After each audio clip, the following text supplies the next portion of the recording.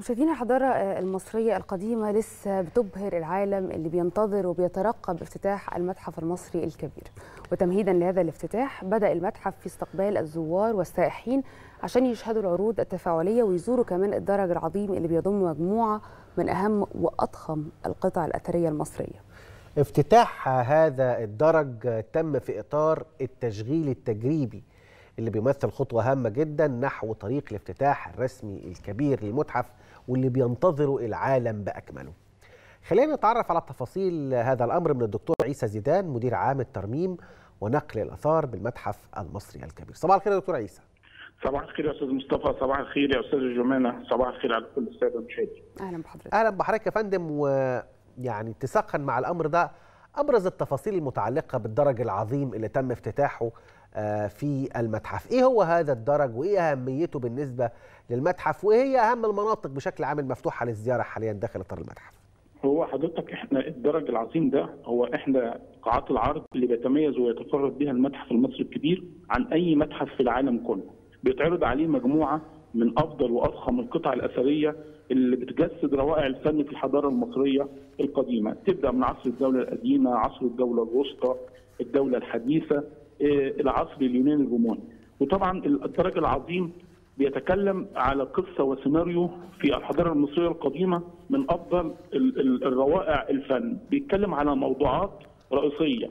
أربع موضوعات بيتم فيهم عرض مجموعة متميزة من تماثيل الملوك زي الهيئة الملكية إزاي الملك كان بيتم تصويره في العصور القديمة وأهم هذه المجموعة تمثال للملك سيتي الأول تمثال للملك سونسيرت تمثال للملك حتشبسوت تمثال للملك امنحتب ثلاثة بعد كده ما بتطلع حضرتك من على الدرج بتقابل موضوع تاني في غاية الأهمية وهي الدور المقدسة أو أماكن العبادة عند المصري القديم.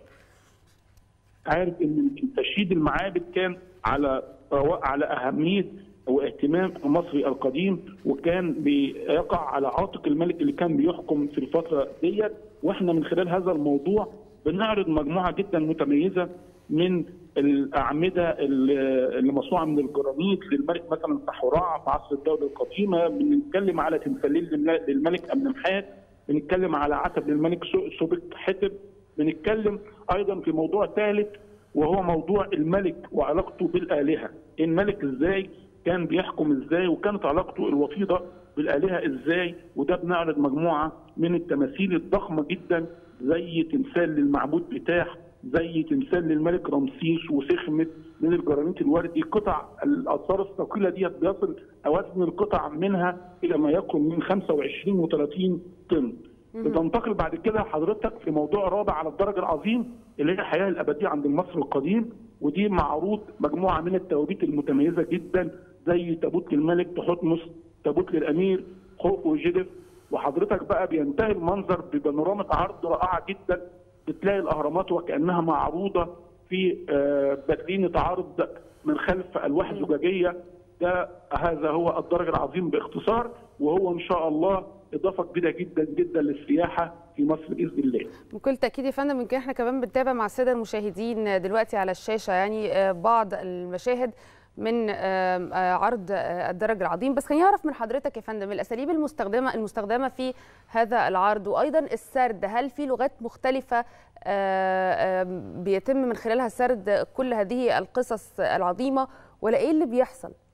هو طبعا زي ما حضرتك قلتي إحنا طبعا أحدث أساليب العرض المتحفي موجودة في المتحف المصري الكبير سواء في الدرج العظيم في قاعات العرض الرئيسية قاعتين الملك توت عنخ امون في طبعا لغات شرح يعني لو حضرتك جاية بمفردك أو مش مش محتاجة مش محتاجة مرشد معاكي ممكن تقري ال labels اللي هو موجود لكل قطعة أثرية. ما هي القطعة الأثرية؟ جاية منين؟ هو إيه؟ هو الملك اللي هو موجود ده اسمه إيه؟ موجود إيه؟ على ال label. مكتوب بثلاث لغات اللغة الإنجليزية واللغة العربية واللغة اليابانية.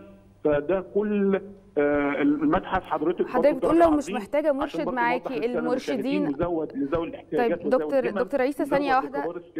في مصاعد كهربائية في سلالم متحركة اللي عاوز يتجول على الدرج بمفرده يتجول فكل شيء مدروس ومحسوب في المتحف المصري الكبير. هي حضرتك بتقول لو لو مش محتاجين مرشد في مرشدين آه، سياحيين موجودين ولا بيتم من خلال آيباد أو أي طريقة تانية؟ يعني في مرشد سياحي موجود ممكن في- في يرافق بعض- الزوار؟ تمام. في بعض الافواج السياحية بتيجي بالمرشد. في عندنا في المتحف شركة الإدارة آه، شركة اللي هي بتدير المتحف آه، شركة آه، Legacy إحدى التحالف الدولي لحسن علام شركة محترمة جدا. بيدي بيكون في مرشدين موجودين بيستقبلوا الزائرين يعني آه، بياخدوهم ويعرفوهم على التجربة السياحية على الدرج العظيم وده كله for free ما فيهوش اي أي رسوم. ياخدوا السائح على الدرج العظيم ويشرحوا له إيه هو الدرج العظيم والقطع اللي موجوده على الدرج العظيم. مم. طيب يعني بنسبة كم في المية نقول المتحف فتح؟ يعني إحنا فتحنا كم في المية كده يا دكتور عيسى؟ مثلا. إحنا سيادتك دلوقتي آه، فتحنا المسله المعلقة فتحنا البهو العظيم اللي فيه الملك رمسيس وعمود الملك ميرن بتاح وتمثال لملك وملكه من العصر البطلمي وفتحنا الدرج العظيم.